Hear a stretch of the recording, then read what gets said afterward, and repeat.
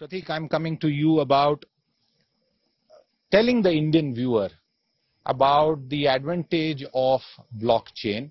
And if you could start once again, because this point has been discussed, uh, perhaps explaining the success that we have achieved in India in different spheres, including uh, the unique case of Gadchiroli, where there is uh, deployment of a blockchain uh, in, in that extremely backward uh, district of India. And I imagine that technology hopefully is making a difference to people's lives there.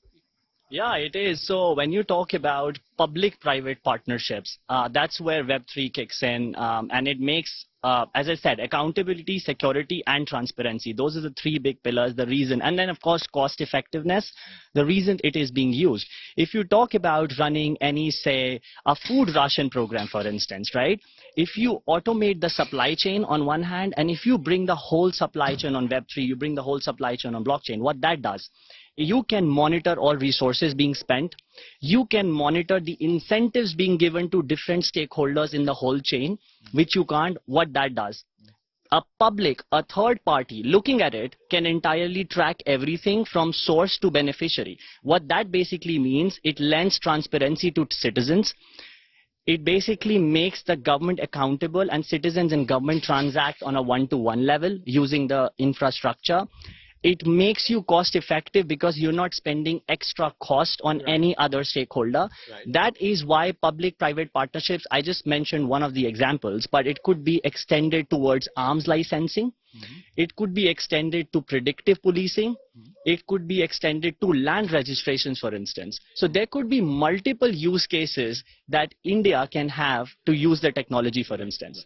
Okay. Uh, do uh, you want to add to that point before we uh, uh, hop on to another subject? Yeah, a little bit of it. I think uh, I'm glad that uh, among the other use cases you have picked the Gadchiroli one because that is a use case that has been built on Polygon technology. Okay. So we are very close to it and we understand the leadership that has come out from that small district in order to do the caste certificate on blockchain. And I think the pretty much the premises there is that once the certificate has been issued, it should have the, uh, you know, the property of immutability so that nobody can go and temper the data. And that is the inherent benefit of blockchain. And I think what Prateek has been talking about different use cases where again the inherent benefit of blockchain becomes so so important for the governance part of it and that's where many government are looking in terms of adding that transparency or the better governance using blockchain technology. Correct.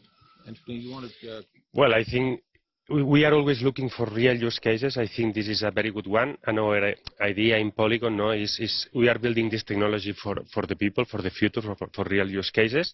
And once this works, let's try to, to enlarge and to expand it to other, other cities in India if possible very or around quickly, the world. Very quickly, could you just relate one real world example from this part of the world? City of Lugano. Okay. City of Lugano. City of Lugano, we are announcing this everywhere all, all the fines, uh, tax, but also merchants are involved, hotels, coffees, shoes.